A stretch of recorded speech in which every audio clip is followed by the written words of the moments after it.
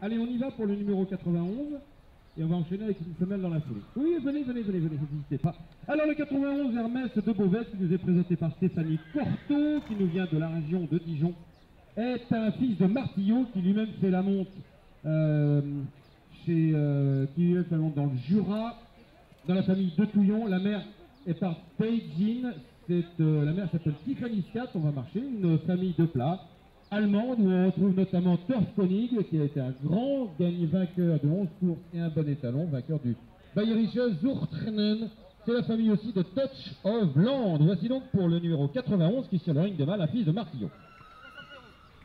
En ce qui concerne les femelles, il s'agit donc du lot numéro 61.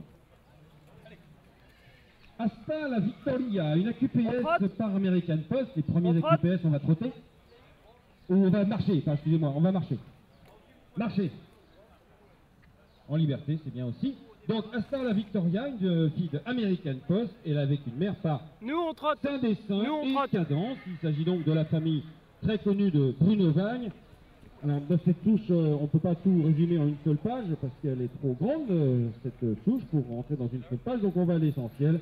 Micador, Concerto d'Alaine, une époque. Et puis, et puis, double 07 entre